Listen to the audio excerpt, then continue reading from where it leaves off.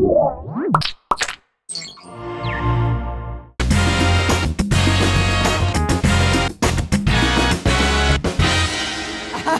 Callie called you now I'm putting pressure on people. That's right. Gary Hoover Gary is here. Hi, doing great. Hi, Gary. Thanks Good for joining morning. us today. Good to see you. I just heard you're from Dallas. Yes, We are are I'm from you? Austin. Oh. Nice. It's very weird in Austin. So you really, we Keeping it weird. We you try. think that you're better than us, don't you? Absolutely, but you're bigger than us, so you know. We're both very entrepreneurial. yes, That This is yes, Houston and San. Antonio and all the other. Indeed. yeah, but I Wonderful. think people underestimate Texas in terms of its entrepreneurial nature. Everybody and- but Texas. Oh, Well, yeah. that's true. Exactly. Yes. Maybe well, they we, overestimate we Yeah, big everything. egos, yeah, maybe they've learned. Uh, maybe they're underestimating what we're over Absolutely. selling. They're kind of it evening bounces it off. out. They know exactly what's going on. I lived in Dallas in the 70s when it was a Oh yeah. much smaller when it was a much smaller place. Okay, hold, hold on just a second, guys. Oh, we've got a Oh, we've got okay. a, a little popping noise on the cable, and we're gonna get it sorted. Technology. Ben wrote Who that invents this stuff? that he wants to know Okay. what the meaning of life is. Huh? Oh well, that is his okay. main question. Okay. Dang it, Ben. Gary. We Gary, should have what is the asked meaning of life? Lee, we needed to ask. Lee had that Moving answer. to Texas. There you go. Uh, okay. That's right. No, it's okay to live somewhere else. Is So- it I've done it. I've tried we- it. New York, Chicago. Uh oh. is it what is I is it? it the headset itself or the connector?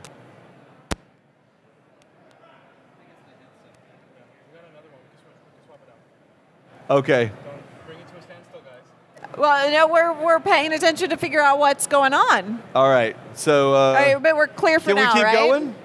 All Okay. right. Let's go. Let's do this So- thing. So you are the founder of Hoovers.com, or what became Hoovers.com. yes, uh-huh, uh-huh. You don't sell vacuum cleaners. No. Okay. No, it would have been nice, but I wasn't tied into that. My first venture was the first chain of book superstores. I've done four startups, and my first baby was called Bookstop and Bookstar. And it became, I guess, the fourth biggest bookstore chain, and Barnes & Noble bought it, and it was their entry into the big bookstore business. So we Wow. really created the idea in Austin. That That's deserves awesome. a high five. High five. Dallas and Indeed. Houston San Antonio were our first markets. That's Very awesome. cool. Yeah, so and then I did uh, a, a business information publishing company called the Reference Press, and uh, after I was no longer running it, they renamed it Hoover's, my name, and um, and then I had a, uh travel venture that failed, and uh, started start the first chain of for-profit museums in the country, and raised half the money, and hit the recession, couldn't raise the rest. Well, Wow. anyway, and Everybody hit that. So. You know what? I've learned more from my failures than I ever did from my successes. for better or for worse, that's often true. Yes. I haven't had any failures, so. I know. That's We- right. We know. right. You're- Yeah, but you're from Dallas. Right, They- exactly, they don't know exactly. failure in Dallas. Yeah.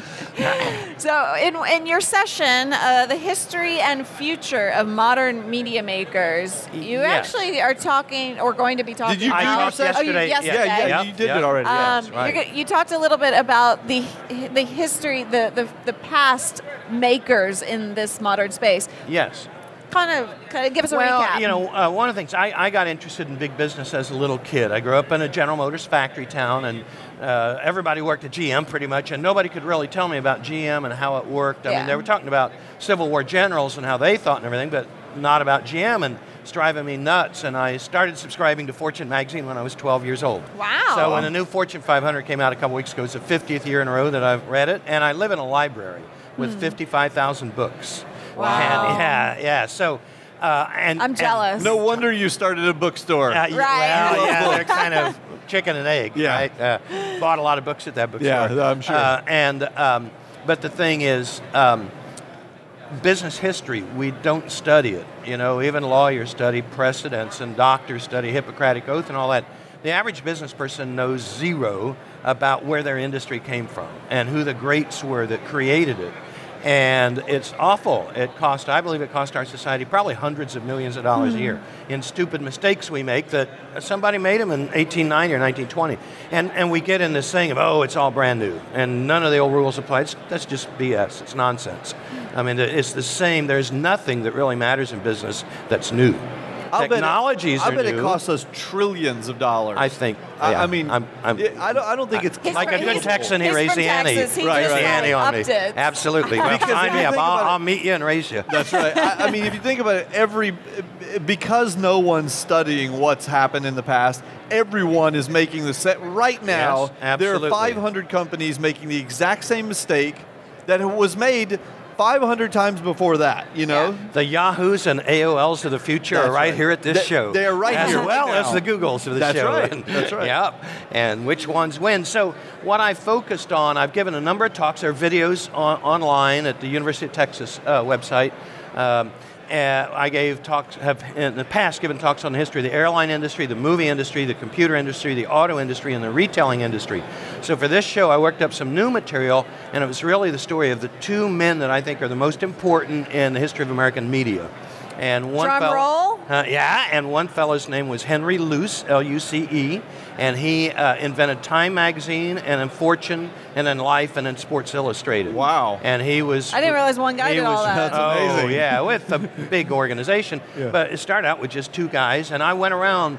Uh, they were new, uh, here in New York, so I went around the last several days and took pictures of the buildings that they lived in. They were in like six offices in 18 months, something like that. And I showed that as part of my slideshow uh, uh, yesterday, Yeah. and their whole story and uh, like Fortune magazine was a work of art. Collectors still collect them for their covers, and they had Margaret Bourke-White and some of the greatest photographers on earth, and then she moved over to Life magazine, which was the most successful magazine in American history. Yeah. and just went crazy. They couldn't find enough paper to print it on. So I tell the story of him and the rise of Time Life and then uh, and he died in the late 60s so and then the story of bill paley p-a-l-e-y and he created television basically. And, and that's a short version but he uh, built cbs he bought it when he was like 27 years old. Um, it was a little struggling network. It was distant second to nbc and he built it up to become the largest um, uh, advertising medium on earth and dominated network television through the 50s and 60s and even into the 70s. And he, uh, you can give him credit for creating the situation comedy, the nightly news, uh, Edward R. Murrow, Walter Cronkite, L- Lucille Ball, I Love Right. Lucy. Wow. And he was just a visionary. And you can actually go to, he, he, he died in like year, around 2000. But he left money. There's a Paley Center of Media here in New York where you can go and, and watch 150,000 different TV shows. They've got all the old files and they've got them digitized and they have um, viewing stations. So they're, they're just, they're two of the most amazing. I think they're both among the top 20 entrepreneurs in U.S. history. Wow. So- and the average person hadn't heard of them, which is awful, right? yeah, that's And I want to change that. Yeah. So, so if these two guys are the most important, Yes. um, then and you're also saying that you know business really hasn't changed from then to now. The and the basics, yes. basics, prac- the basic practices. What can we learn from those two guys? Yeah, like that you just tell us everything right we need now? to know in Absolutely. like five well, minutes it's or just less. easy. right? you know, just add water and you, and you'll be rich. You know, um, you know the things at the end of the talk. I show the conclusions and. Um, w- these, I saw three things in both of these guys. One is that one is they were real thinkers, they were real students of the universe, and they were intensely curious. They drove the people around them nuts with all the questions they asked, and they were interested in everything. Henry Luce said, "Look, the average American knows nothing about art and architecture, so Time Magazine every week is going to talk about art and architecture." And um, and so uh, they were intensely curious, one of three things. Next thing is they believe that above all else, content mattered, Yeah. and that technology didn't. In, in the sense that usually their competitors were technologists in love with the gadgets. Right. And I love gadgets too, but I do i- too. if they don't serve, if they don't make the world a better place, they're useless. Yeah. And, Sure. and it's really, it's about the art, it's about the beauty, it's about the poetry. Henry Luce hired poets to write uh, uh, Fortune magazine because he said he couldn't turn, he tried, he couldn't turn accountants into business journalists, but he could turn poets into business journalists. Wow. And so, oh, real poets, ones that made Yeah. their livings mainly as poets, you know? And um, so the beauty and the poetry is so important, and that gets left out. The one that maybe gets left out the most often when I, I teach entrepreneurship, I was entrepreneur in residence at the University of Texas Business School a couple of years ago, and one thing, if I see something left out, it's a love of business, a lo- action orientation, hard work, and, and, and you see those, but I find people that, well, I don't know about advertising, or that's not cool, or whatever. We would have nothing mm-hmm. without advertising. Yeah. Yeah. We would have no magazines and Can you no imagine? newspapers and no television or you know it's and so I gave credit at the end. I showed you know Chevrolet and Coca Cola and Ivory Soap. Said look, Yeah. these are the people that may allowed these two gentlemen to do what they did that Right. made the world a better place. And so, um, and, and both of them, despite the fact they were very, almost, Luce was almost intellectual, um, Paley was a world traveler and went all over the world, and they were both involved with the Museum of Modern Art and all that. But man, they both knew a P&L, and they both knew where every nickel came from, and they both totally understood, and they were both incredibly profitable companies. And uh, took them a while. You know, they went through all the struggles and, you know, sharing the room and living on 10 bucks a week and all this. But, uh, so I, and they're, and they're inspiring.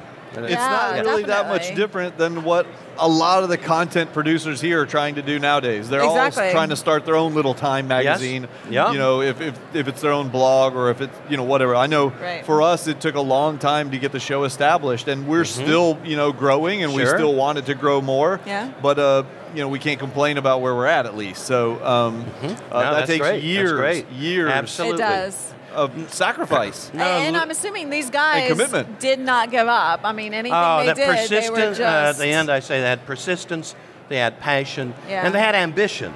Uh, uh, they, they, they both wanted to be big from the beginning. They weren't like, oh, we stumbled into this. Right. No, they both, uh, when they're in like their teens and 20s, wanted to change the world. They had a dream and they Uh-huh. pursued it with Yeah. rigor. Absolutely, absolutely. So, uh, and those things are timeless, and it, and it's so inspiring, and we, we forget about these people, and we shouldn't. You Yeah. know, Yeah. and and there is tremendous amount. There's several books written about each of them. So anybody really wants to go deep and really understand. Um, I mean, I, I could have gone on for like days, and I had like 45 minutes, so it was like That's really fast. Yes. What's But- the saying that you, uh, if we don't learn from history, then we We're doomed to repeat it. yes, repeat right. It. That's right. Absolutely. Yeah. No, and um, and I- and I also believe many times the greatest ideas and the way you really have breakthrough ideas. I have 210 ideas for new businesses in my little tablet Can I here. see? Uh-huh. Uh-huh. Yeah. No, no, no. They're 25 cents a piece. First I'll one's just open it 25 cents. The next one's 50 cents. Oh, the next okay, a dollar. Yeah. The last Good, one's really expensive. Yeah, Yeah, I exactly. bet. Plus 10% ownership, of course. Uh, Of well, sure, the kicker, That- that equity with- kicker. without saying. Yes, yes, and warrants on your first six children. Right. Um, but um, uh, you know, I get a lot of my ideas from other industries. So Yeah. I would urge. I was talking about media yesterday, but if you really you study Thomas Watson that built IBM, you study Alfred P. Sloan that built General Motors. Bill Gates said if you're only going to read one book about business, you should read Alfred Sloan's book, My Years with General Motors. It's the most important business book ever written.